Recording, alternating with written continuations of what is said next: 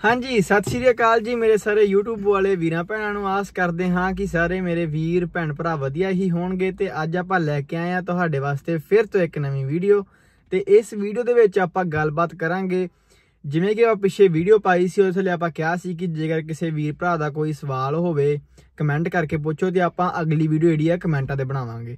ਉਦਾਂ ਹੀ ਬਹੁਤ ਵੀਰਾਂ ਭਰਾਵਾਂ ਦੇ ਸਵਾਲ ਆਏ ਆ ਕਮੈਂਟ ਕੀਤੇ ਵੀਰਾਂ ਭਰਾਵਾਂ ਨੇ, ਉਹਨਾਂ ਕਮੈਂਟਾਂ ਦੇ ਆਪਾਂ ਜਵਾਬ ਦਵਾਂਗੇ ਇਸ ਵੀਡੀਓ ਵਿੱਚ ਤੇ ਤਕਰੀਬਨ ਤਕਰੀਬਨ ਸਾਰੇ ਵੀਰਾਂ ਭਰਾਵਾਂ ਦੇ ਇਹੋ ਹੀ ਸਵਾਲ ਹੁੰਦੇ ਵਾ।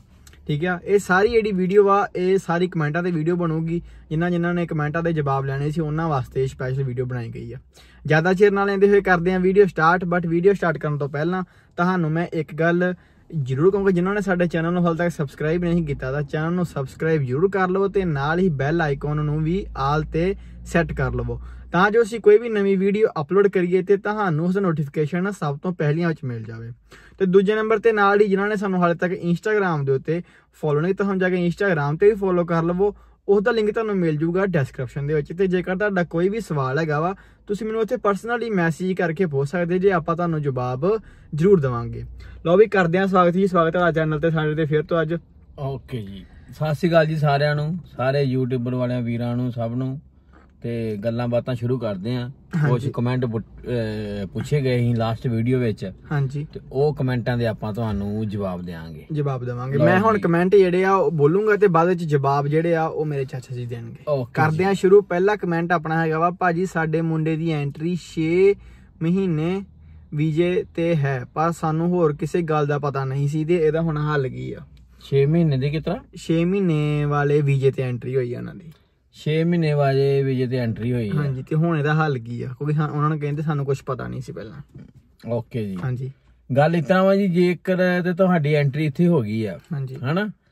ਤੇ ਇਹਦਾ ਹੱਲ ਤੇ ਸਿਰਫ ਇਹੋ ਹੀ ਹੈਗਾ ਵਾ ਕਿ ਜੇਕਰ ਤੁਸੀਂ ਜਿੰਨੇ ਵੀ ਤੁਹਾਡੀ ਐਂਟਰੀ ਕਰਾਈ ਆ ਤੇ ਉਹਦੇ ਨਾਲ ਗੱਲਬਾਤ ਕਰਕੇ ਉਸ ਮਾਲਕ ਦੇ ਨਾਲ ਤੇ ਤੁਸੀਂ ਆਪਣੇ ਜਿਹੜੇ ਆ ਪੇਪਰ ਇੱਕ ਵਾਰ ਜਮ੍ਹਾਂ ਕਰਾ ਦਿਓ ਕਿੱਟ ਜਮ੍ਹਾਂ ਕਰਾ ਦਿਓ ਤੇ ਫਿਰ ਉਹਦਾ ਤੁਹਾਨੂੰ ਕੋਈ ਨਾ ਕੋਈ ਤੁਹਾਨੂੰ ਰਿਸਪੌਂਸ ਮਿਲ ਜੂਗਾ।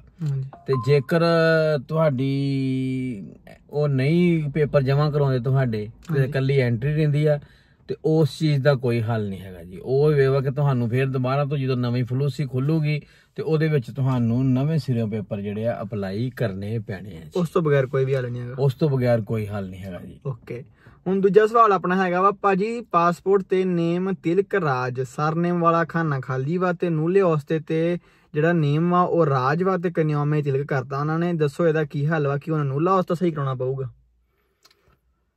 ਮਤਲਬ ਕਿ ਜਿਹੜਾ ਨੇਮ ਆ? ਪਾਸਪੋਰਟ ਤੇ ਜਿਹੜਾ ਵਾ ਸਰਨੇਮ ਜਿਹੜਾ ਨਹੀਂ ਹੈਗਾ ਖਾਲੀ ਡੱਬਾ। ਪਾਸਪੋਰਟ ਤੇ ਨਹੀਂ ਤੇ ਹੈਗਾ ਪਰ ਉਹਨਾਂ ਨੇ ਨੂਲੇ ਉਸਤੇ ਤੇ ਸਰਨੇਮ ਲਿਖਤਾ ਉਹਨਾਂ ਦਾ। ਨੂਲੇ ਉਸਤੇ ਸਰਨੇਮ ਲਿਖਤਾ ਵਾ। ਨਹੀਂ ਜੀ ਕੋਈ ਗੱਲ ਨਹੀਂ। ਉਹਦਾ ਨਹੀਂ ਕੋਈ ਚੱਕਰ ਪੈਣਾ ਤੁਹਾਨੂੰ। ਹਾਂਜੀ। ਕਿਉਂਕਿ ਅਸਲ ਵਿੱਚ ਜਿਹੜਾ ਤੁਹਾਡਾ ਨੂਲਾ ਉਸਤਾ ਵਾ ਨਾ ਉਹ ਇੱਥੋਂ ਗਿਆ ਵਾ। ਠੀਕ ਆ ਇਟਲੀ ਤੋਂ ਗਿਆ ਵਾ।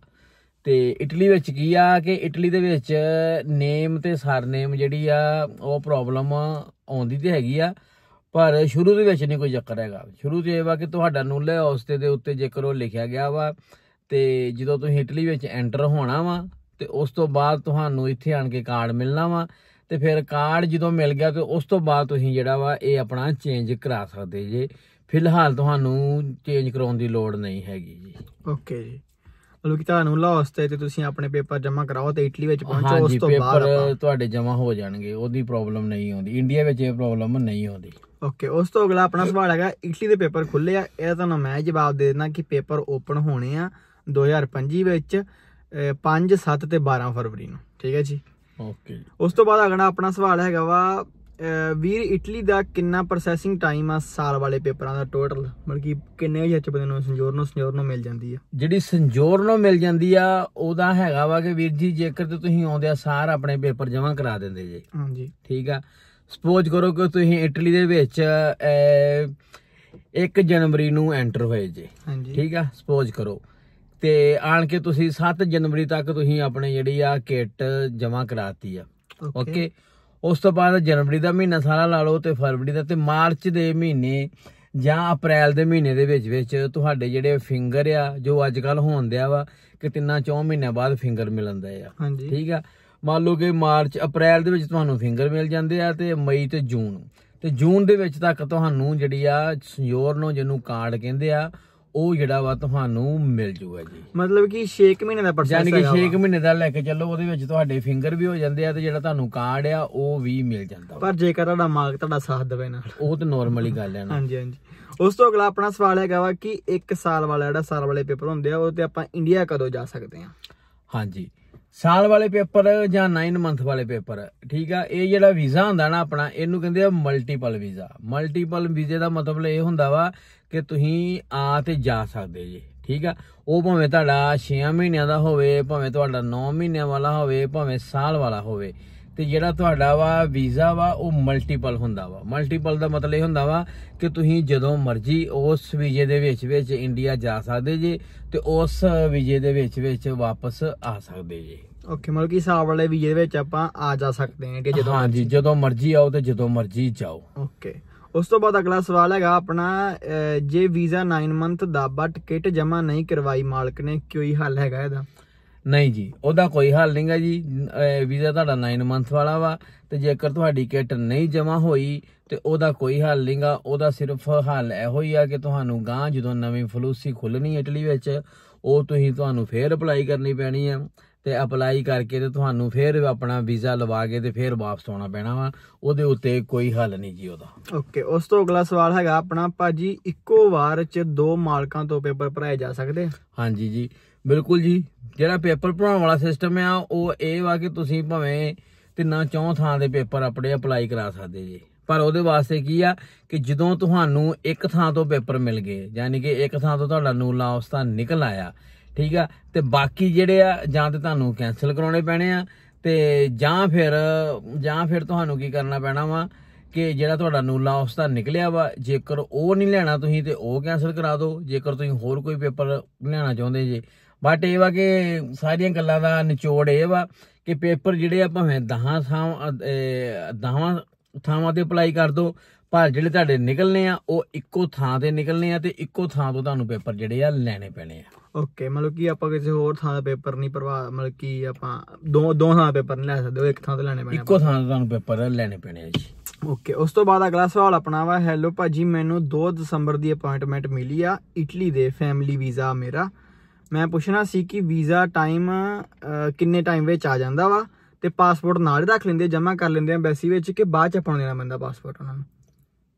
ਮਤਲਬ ਕਿ ਜਿਹੜਾ ਪਾਸਪੋਰਟ ਵਾ ਉਹ ਜਦੋਂ ਆਪਾਂ ਅਪਾਇੰਟਮੈਂਟ ਹੁੰਦੀ ਉਦੋਂ ਜਮ੍ਹਾਂ ਕਰ ਲੈਂਦੇ ਆ ਕਿ ਬਾਅਦ ਚ ਆਪਾਂ ਨੂੰ ਫੋਨ ਜਾਂ ਕਾਲ ਜਾਂ ਮੈਸੇਜ ਕਰਦੇ ਆ ਕਿ ਪਾਸਪੋਰਟ ਜਮ੍ਹਾਂ ਕਰਾ ਕੇ ਜਾਓ। ਨਹੀਂ ਜੀ ਉਹਦਾ ਵੇਖੋ ਜੀ ਜਿਹੜਾ ਉਹਦਾ ਪ੍ਰੋਸੀਜਰ ਆ ਉਹ ਤੇ ਵੱਧ ਤੋਂ ਵੱਧ ਫੈਮਿਲੀ ਵਾਲੇ ਵੀਜ਼ੇ ਦਾ ਜਿਹੜਾ ਹੈਗਾ ਪ੍ਰੋਸੀਜਰ ਉਹ ਵਾ 2 ਮਹੀਨੇ 3 ਮਹੀਨੇ ਜਿਹੜੇ ਆ ਉਹ ਲਾ ਦਿੰਦੇ ਆ। ਠੀਕ ਆ ਤੇ ਉਹ ਹੁੰਦਾ ਅਪਾਇੰਟਮੈਂਟ ਜਦੋਂ ਆਪਾਂ ਨੂੰ ਮਿਲਦੀ ਆ ਤੇ ਆਪਣੇ ਕੋਲੋਂ ਫੀਸ ਲੈ ਲੈਂਦੇ ਆ ਸਾਰਾ ਕੁਝ ਲੈ ਕੇ ਤੇ ਆਪਣਾ ਪਾਸਪੋਰਟ ਵੀ ਜਿਹੜਾ ਵਾ ਉਹ ਰੱਖ ਲੈਂਦੇ ਆ। ਓਕੇ ਠੀਕ ਆ ਵੀਜ਼ੇ ਵਾਸਤੇ ਉਦੋਂ ਹੀ ਰੱਖ ਲੈਂਦੇ ਆ ਜਦੋਂ ਆਪਾਂ ਅੰਬੈਸੀ ਦੇ ਵਿੱਚ ਜਾਣਾ ਹੁੰਦਾ ਵਾ। ਉਹ ਉਹ ਤੁਹਾਡਾ ਪਾਸਪੋਰਟ ਤਾਂ ਰੱਖਣਾ ਹੁੰਦਾ ਕਿਉਂਕਿ ਉਹਨਾਂ ਨੇ ਤੁਹਾਡਾ ਵੀਜ਼ਾ ਉਹ ਨਾ ਲਾ ਕੇ ਤੇ ਤੁਹਾਨੂੰ ਬਾਅਦ ਵਿੱਚ 2-3 ਮਹੀਨੇ ਬਾਅਦ ਤੁਹਾਨੂੰ ਜਿਹੜਾ ਵਾ ਤੁਹਾਡਾ ਪਾਸਪੋਰਟ ਵਿਦ। ਵੀਜ਼ੇ ਤੇ ਜੇਕਰ ਤੁਸੀਂ ਕੋਰੀਅਰ ਕਰਾਉਣਾ ਹੋਵੇ ਕੋਰੀਅਰ ਕਰਾ ਲਓ ਜਾਂ ਫਿਰ ਤੁਸੀਂ ਜੇ ਜਾ ਕੇ ਲਿਆਉਣਾ ਹੋਵੇ ਤੇ ਜਾ ਕੇ ਲਿਆ ਸਕਦੇ ਜੀ। ਓਕੇ ਮਤਲਬ ਕਿ ਪਾਸਪੋਰਟ ਤੁਹਾਨੂੰ ਨਾਲ ਹੀ ਰੱਖਣਾ ਪੈਂਦਾ ਉਸੇ ਮਤਲਬ ਕਿ ਦੇਣਾ ਪੈਂਦਾ। ਨਾਲ ਉਹਨਾਂ ਨੂੰ ਦੇਣਾ ਪੈਂਦਾ ਉਹ ਬਾਅਦ ਵਿੱਚ ਵੀਜ਼ਾ ਲਾ ਕੇ ਤੇ ਤੁਹਾਨੂੰ ਕੋਰੀਅਰ ਕਰ ਦਿੰਦੇ ਆ ਜਿੱਥੇ ਵੀ ਤੁਸੀਂ ਹੁੰਦਾ ਵਾ ਅੰਮ੍ਰਿਤਸਰ ਜਲੰਧਰ ਜਿੱਥੇ ਵੀ ਤੁਸੀਂ ਹੁੰਦੇ ਹੋ ਉੱਥੇ। ਓਕੇ ਉਸ ਤੋਂ ਬਾਅਦ ਅਗਲਾ ਸਵਾਲ ਆਪਣਾ ਹੈਗਾ ਵਾ ਸਰ ਸਾਲ ਵਾਲੇ ਪੇਪਰਾਂ ਤੇ ਆ ਕੇ ਮਾਲਕ ਨੇ ਬੁਲਾਇਆ ਜੇ ਉਹ ਪੇਪਰ ਨਹੀਂ ਬਣਾ ਕੇ ਦਿੰਦਾ ਬੰਦੇ ਮਤਲਬ ਕਿ ਬੰਦੇ ਦੇ ਦੂਸਰੇ ਮਾਲਕ ਤੋਂ ਪੇਪਰ ਭਰਵਾ ਸਕਦੇ ਆ ਆਪਾਂ ਬਾਅਦ ਵਿੱਚ? ਨਹੀਂ ਜੀ ਸਭ ਤੋਂ ਪਹਿਲੀ ਗੱਲ ਹੈ ਕਿ ਜਿਹੜੇ ਵੀ ਪੇਪਰਾਂ ਤੇ ਤੁਸੀਂ ਆਏ ਜੇ ਹਾਂਜੀ। ਭਾਵੇਂ 9 ਮੰਥ ਵਾਲੇ ਭਾਵੇਂ ਸਾਲ ਵਾਲੇ ਭਾਵੇਂ ਕਿਸੇ ਵੀ ਪੇਪਰਾਂ ਤੇ ਆਏ ਜੇ ਫਸਟ ਆਫ ਆਲ ਤੁਹਾਨੂੰ ਕੀ ਕਰਨਾ ਪੈਣਾ ਵਾ ਕਿ ਜਿਹੜਾ ਤੁਹਾਨੂੰ ਜਿਹੜੇ ਇੱਥੇ ਪੇਪਰ ਅਪਲਾਈ ਹੋਣੇ ਆ ਉਸੇ ਓਨਰ ਦੇ ਰਾਹੀਂ ਹੀ ਹੋਣੇ ਆ ਜਿਸ ਓਨਰ ਨੇ ਜਿਸ ਮਾਲਕ ਨੇ ਤੁਹਾਨੂੰ ਸੱਦਿਆ ਵਾ ਇੱਕ ਵਾਰੀ ਤੁਹਾਨੂੰ ਉਹਦੇ ਨਾਲ ਅਟੈਚ ਹੋਣਾ ਹੀ ਪੈਣਾ ਵਾ। ਉਸ ਤੋਂ ਬਾਅਦ 2-3 ਮਹੀਨਿਆਂ ਬਾਅਦ ਤੁਸੀਂ ਆਪਣੇ 2-3 ਸਲਿੱਪਾਂ ਲੈ ਕੇ ਤੇ ਉਸ ਤੋਂ ਬਾਅਦ ਜੇਕਰ ਤੁਸੀਂ ਚਾਹੋ ਤੇ ਆਪਣਾ ਜਿਹੜਾ ਵਾ ਮਾਲਕ ਚੇਂਜ ਕਰ ਸਕਦੇ ਜੇ। ਪਹਿਲਾ ਮਾਲਕ ਜਿਹੜਾ ਵਾ ਤੁਸੀਂ ਨਹੀਂ ਚੇਂਜ ਕਰ ਸਕਦੇ। ਪਹਿਲਾ ਮਾਲਕ ਤੁਹਾਨੂੰ ਉਸੇ ਮਾਲਕ ਕੋਲੋਂ ਹੀ ਆਉਣਾ ਪੈਣਾ। ਉਸੇ ਓਨਰ ਦੇ ਰਾਹੀਂ ਹੀ ਤੁਹਾਡੇ ਪੇਪਰ ਜਮ੍ਹਾਂ ਹੋਣੇ ਆ। ਹੋਰ ਕਿਸੇ ਦੇ ਨਵੇਂ ਨਾਈ ਨਹੀਂ ਹੋਣੇ। ਓਕੇ ਲਾਸਟ ਸਵਾਲ ਆਪਣਾ ਹੁਣ ਹੈਗਾ ਵਾ ਅੱਜ ਦੀ ਵੀਡੀਓ ਦਾ ਇਹ ਹੈਗਾ ਵਾ ਬਾਈ ਜੀ ਇਟਲੀ ਸੇ ਇੱਕ ਸਾਲ ਵਾਲੇ ਪੇਪਰ ਮੈਂ ਕਿੰਨੀ ਵਾਰ ਇੰਡੀਆ ਆ ਜਾ ਸਕਤੇ ਹਾਂ? ਓਕੇ ਜੀ ਇਹੋ ਸਵਾਲ ਹੈ ਇਹ ਅੱਗੇ ਰਿਪੀਟ ਹੋਇਆ ਵਾ। ਵੇਖੋ ਜੀ ਤੁਹਾਨੂੰ ਦੱਸਿਆ ਵਾ ਕਿ ਜਿਹੜਾ ਇਹ ਵੀਜ਼ਾ ਹੁੰਦਾ ਵਾ ਨਾ ਆਪਣਾ ਇਹ ਹੁੰਦਾ ਮਲਟੀਪਲ ਵੀਜ਼ਾ।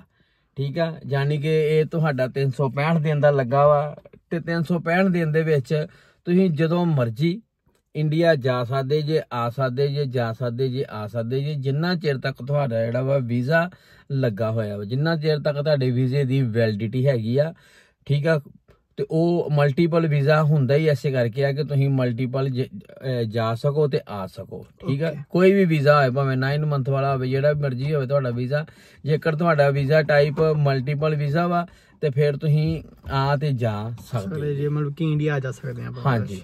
ਲਓ ਵੀ ਮਿੱਤਰੋ ਜੀ ਨਾਲ ਸਾਰੇ ਆਪਣੇ ਕਮੈਂਟ ਹੁੰਦੇ ਆ ਖਤਮ। ਤੇ ਜੇਕਰ ਤੁਹਾਡਾ ਕੋਈ ਵੀ ਸਵਾਲ ਹੈਗਾ ਵਾ ਤੁਸੀਂ ਸਾਨੂੰ ਕਮੈਂਟ ਕਰਕੇ ਪੁੱਛ ਸਕਦੇ ਜੀ, ਤੇ ਆਪਾਂ ਇਦਾਂ ਦੀਆਂ ਨਿੱਕੀਆਂ ਨਿੱਕੀਆਂ ਵੀਡੀਓ ਬਣਾ ਕੇ ਤੁਹਾਡੇ ਕਮੈਂਟਾਂ ਦੇ ਜਵਾਬ ਦਿੰਦੇ ਰਵਾਂਗੇ। ਹਾਂਜੀ। ਕਮੈਂਟ ਕੋਈ ਵੀ ਪੁੱਛੋ ਯਾਰ ਤੁਹਾਨੂੰ, ਹਰ ਇੱਕ ਭਾਵੇਂ ਤੁਹਾਨੂੰ ਕਿਸ ਤਰ੍ਹਾਂ ਦਾ ਵੀ ਤੁਹਾਨੂੰ ਲੱਗਦਾ ਨਾ, ਤੁਸੀਂ ਕਮੈਂਟ ਵਿੱਚ ਜਾ ਕੇ ਜਰੂਰ ਪੁੱਛੋ। ਤੁਹਾਨੂੰ ਉਹਦਾ ਨਹੀਂ ਪਤਾ ਤੇ ਆਪਾਂ ਤੁਹਾਨੂੰ ਵੀਡੀਓ ਬਣਾ ਕੇ ਤੇ ਉਹਦਾ ਜਵਾਬ ਜਰੂਰ ਦੇਵਾਂਗੇ ਜੀ। ਲਓ ਵੀ ਮਿੱਤਰੋ ਕਰਦੇ ਆਂ ਵੀਡੀਓ ਖਤਮ ਤੇ ਜੇਕਰ ਤੁਹਾਨੂੰ ਵੀਡੀਓ ਵਧੀਆ ਲੱਗੀ ਹੋਵੇ ਤਾਂ ਵੀਡੀਓ ਨੂੰ ਲਾਈਕ ਸ਼ੇਅਰ ਕਮੈਂਟ ਜ਼ਰੂਰ ਕਰਿਓ ਤੇ ਚੈਨਲ ਨੂੰ ਸਬਸਕ੍ਰਾਈਬ ਕਰਨਾ ਨਾ ਭੁੱਲਿਓ। ਮਿਲਦੇ ਆਂ ਤੁਹਾਨੂੰ ਆਪਾਂ ਨੈਕਸਟ ਵੀਡੀਓ ਵਿੱਚ। ਉਹਨੇ ਚਿਰ ਲਈ ਸਤਿ ਸ਼੍ਰੀ ਅਕਾਲ ਜੀ ਤੇ ਟੇਕ ਕੇਅਰ ਜੀ। ਓਕੇ ਜੀ।